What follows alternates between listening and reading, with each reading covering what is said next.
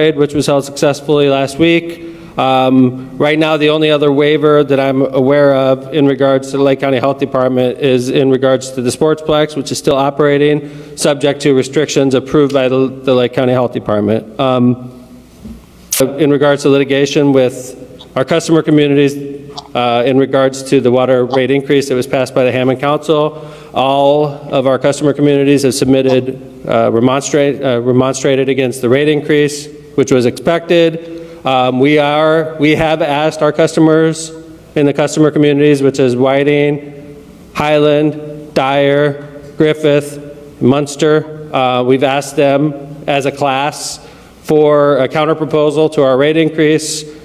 I- We haven't received it. It's been a month, which leads me to believe that our customer communities aren't interested in negotiating, basically, out of this, which is what we feared. So right now, we're ready to go to court. Um, I know that there's a hearing set during the holidays, and we intend to keep that hearing date. Our legal team is ramping up as we speak. I'm actually supposed to be on a family vacation. I am actually making arrangements to fly back in the middle of my vacation so that I could testify in this case.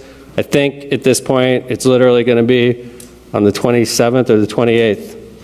The 28th. So it's right after Christmas, right in the middle of the holidays.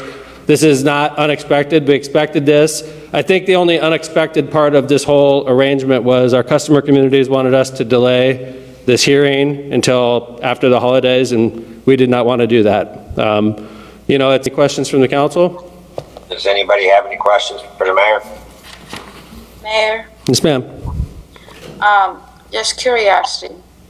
I, I noticed that we continue to have a lot of cars at Sportsplex. Um, are we, I understand that we have something in place where it's apparent there, but there is a lot of vehicles, um, which means there's a lot of people. Um, are we going to dial down some of that, um, at this time, um, as we keep moving forward?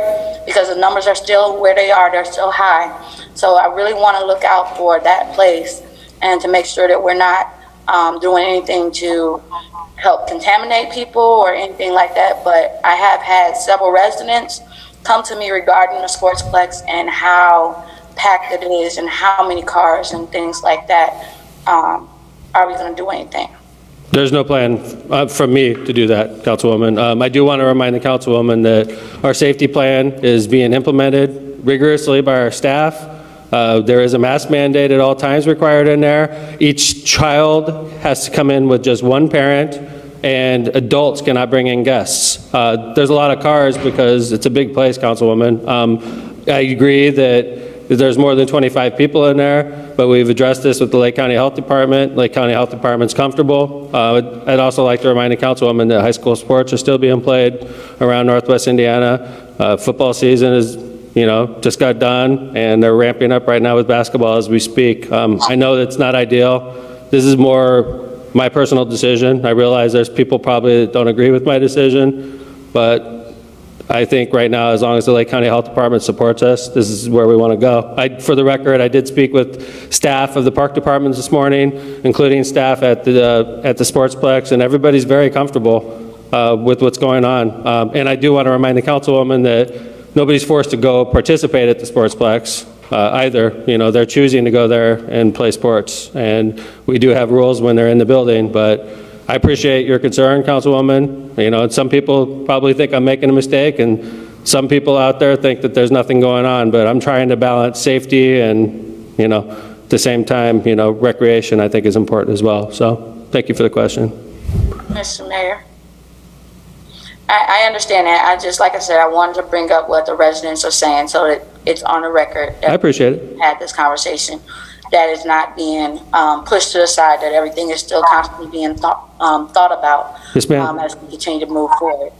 I appreciate it, Councilwoman. And I appreciate, I know how concerned you've always been about this, and I appreciate that about you. And, you know, I also feel, I'm, I- I'm very careful. I wear my mask at all times in public, you know. I am also trying to balance, you know, uh, I feel strongly about the business community should be given a fighting chance to survive, and, you know, I'm trying to balance everything, Councilwoman, and I believe me, I I worry about the staff that's out there as well, you know. And I do agree, Councilwoman, there's a lot of cars in the parking lot, and I appreciate you pointing it out, and I have no problem with you bringing it up, so thank you. Mr. Chairman,